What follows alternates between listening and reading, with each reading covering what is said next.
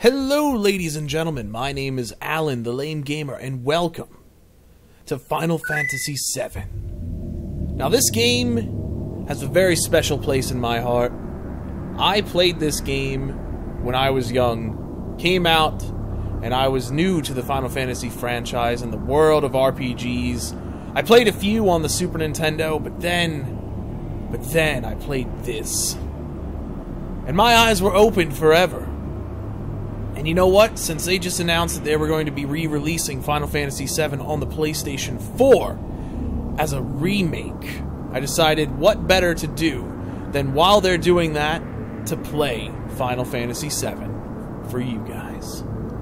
So I hope you're going to enjoy this video as much as I'm going to enjoy making them and playing this game. Definitely you can pick it up on Steam or find a PlayStation copy and slap it in your PlayStation or PS2 or play it on Steam and enjoy it. You can also buy it on the PlayStation 3 network and the PlayStation 4 network. There are so many different ways to play this game, and I recommend you try to play it every single way. Now, there are some people who don't enjoy Final Fantasy VII as much, and to those people, I say boo. I think this is one of the greatest games ever made. Um, yes, the story is heavy heart, is heavy-handed, and there's a lot of a lot of overtones about the world and things like that. Pardon me as I adjust my microphone. There's a lot of overtones about pollution and things like that. So if you're not into that kind of thing, or if you're not into, if you're just not into a game kind of preaching at you, you may not enjoy the game as much, but it is still a fantastic experience and it's one of those easier RPGs to get into, but it is still an RPG, so there's going to be a lot of battles and there's going to be a lot of fun. And I'm going to leave everything in. I don't want to I'm not going to move anything out and goddamn I remember this. I remember this I remember seeing this for the first time and it may sound weird, but back when this game came out in 1997, 1996, 1997, this looked awesome compared to what we were used to. Because the original, the last game before this was Final Fantasy VI, which was for the Super Nintendo. All right, we need to go into our menu and change. Um, battle speed is fast. Field message. Good, good. All right, and okay. So we touch this guy, we get a potion, and we're gonna have a battle. But hopefully, turning up the battle speed will speed through this here. And our name is X Soldier. You know, this game does look a little bit better on the PC than it does on the original PlayStation.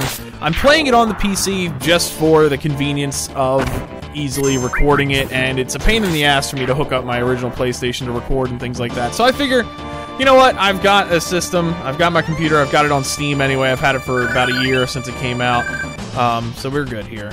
Oh, I got an achievement. Cool. All right. Okay, so just break some things down real quick. So this is our character. We're ex-soldier. We have magic, we have item, we have equip. Here we would have another option that we'll learn about later. And then we have some other options. So you know what? I think I'll show you those other options when we actually get them here. I will try to explain the game, but I won't be doing like an HCBailly run, where uh, if you guys don't know who HCBailly is, you should definitely check him out. He's one of the greatest YouTubers I've seen.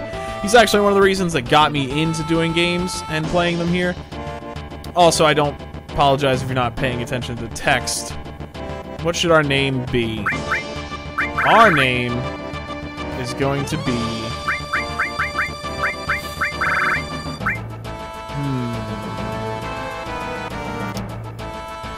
Our name is going to be Dickbutt.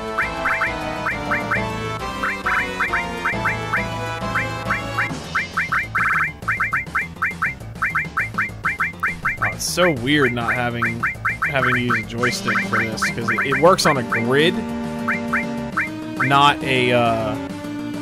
Okay. Dick butt, eh? I'm. Doesn't matter what your name is. He's the Rock. If you guys pay attention, there's actually some curse words in this game. But this this game was fun. This game was awesome when I first played it. And ex-soldier, don't trust you. Your name's Barret. I'll leave your name the same way here. Yeah. Okay. And transition. Yeah, the models. I mean, the models look smoother. I will say that for the um, compared to the PlayStation version. And yeah, you kind of still move on a grid, um, so it's it's a little hard to get used to compared to like the games that you know you may play now. But no big deal. Random battles. And I think compared to Final Fantasy 13, I think this is I mean, Final Fantasy 13 to me was one of the worst games in the franchise, if not the worst. Um, and I and to me, Final Fantasy 13 encompasses all of the other games that came with it. So Final Fantasy 13, Final Fantasy 13 2, and then Final Fantasy 13 Lightning's Return or whatever. They're all the same goddamn game, and it, I, I didn't enjoy them at all. I didn't think it was very hard or difficult. I mean, it was a gor- they were gorgeous. They were beautiful looking games. But I mean, when I play a Final Fantasy game, I like to be able to explore. That's what I really liked about this game as well, because it was so open-ended. Now, Final Fantasy games have been open-ended before, but not in 3D. Like I said, Final Fantasy VI, which in America was Final Fantasy III, that was the game that came out before this one, back in 1995. And then, two years later, America, we saw this, and this game was just out of this world compared to Final Fantasy VI. And I will be referring to it as Final Fantasy VI because that's what it is. I do want to let this episode drag on a little bit longer than a normal episode because it is the beginning. We'll go over here and get a treasure. Probably going to be a lot of me running around in circles doing things. Um, treasures. Phonics down. That's how I used to pronounce it. I now know it's Phoenix. I was an idiot when I was a child. God, I love the music. I'm excited to see what they're going to do with the music in Final Fantasy PlayStation 4 Remake. Look at her mouth wide open. Just stick my dick right in it. Uh. And here's where the game starts to get to the point where it's, uh, basically, you know, global warming, planets dying, blah blah blah. Really preachy, but still a good type. Um, still a pretty good, you know, premise. You know, I do believe that the planet is one of the most important things that we have, but I mean, I'm not going to preach to you guys. I don't recycle or anything like that either, um, but still, I think we should actively look for renewable sources of energy. Um, but that's all I'm going to say about that for now.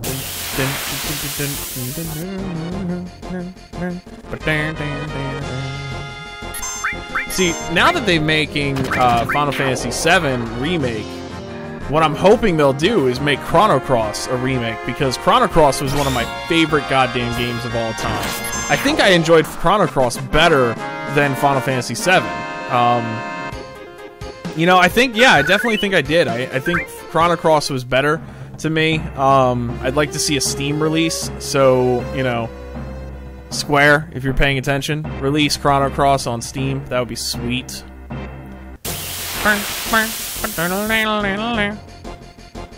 Okay, so here we can kind of demonstrate something uh, really quickly. So, um, Cloud is a physical fighter, Barret is not. So Barret is a long range. So he, this guy back here, he's in the back row. So Barret's damage will be the same no matter if he's hitting somebody in the back row or in the front row as opposed to Cloud, will the damage will be slightly less. So if you have a melee fighter and somebody's in the back row, it's best to not hit them with your physical attack. Magic is exactly the same. Um, now there is uh, items, uh, materia is how what they're called. There is materia that makes it just negates either way. Um, so if you have, because Barret is one of the only melee people, um, actually besides Yuffie.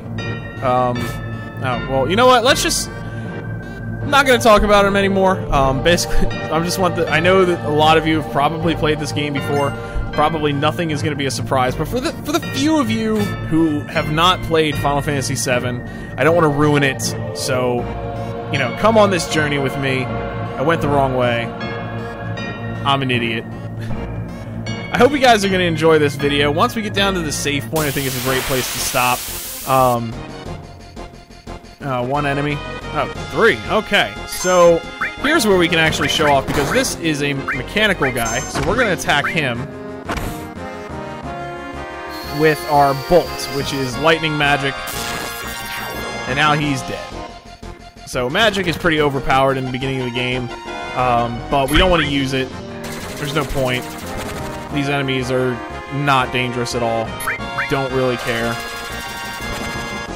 You know, yeah, this game looks a lot better on Steam than it does. I mean, the textures are just clearer. I mean, it's way farther from being an HD re-release like uh, we've all been wanting. Um, Dick Butt has a limit break. Excellent. And fun, you know, Sony saying at E3 that they're going to make that they they're making Final Fantasy VII as a remake is probably one of the greatest things that I heard, and I was so excited. I mean, I finally have a reason to play my PlayStation 4, and definitely I'm glad that it's going to be a game like that that is going to make me want to play it. So, all right, well we're going to save our game here. Select a save file. Okay, cool. So we're going to save the game. I hope you guys enjoyed the episode, and I hope you guys are going to enjoy the series. Thank you so much for watching. If you enjoyed it, leave a comment, share it with somebody you think who's going to enjoy it, and thanks for watching, and as always, have a great day. Bye-bye.